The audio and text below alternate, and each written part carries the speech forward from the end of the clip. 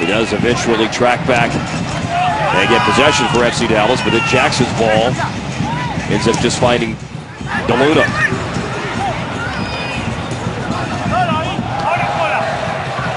Ferreira at the halfway line. And once again, Castillo a chance. Kennedy drifting back. Castillo finds Perez. Perez a shot and it's in. It's a goal.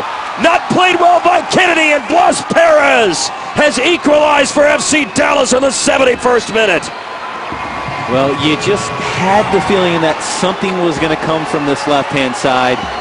And what an absolutely wonderful ball by David de Ferreira to get Castillo wide open.